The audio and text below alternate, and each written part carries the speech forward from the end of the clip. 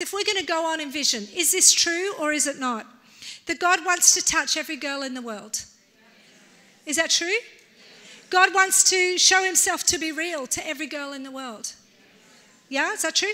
God wants to raise up every girl in the world to serve him. Is that true? Okay, God wants every girl to know, know him and know him deeply. Is that true? Yeah?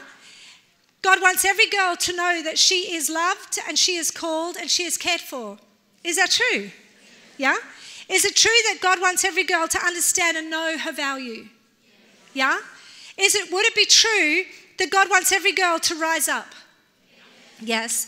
Is it true that God would like every girl um, to be full of faith? Yes. Is it true that God would like to set every girl free and make her whole and full of the Spirit right across the world? Yes. That's amazing. Is that true?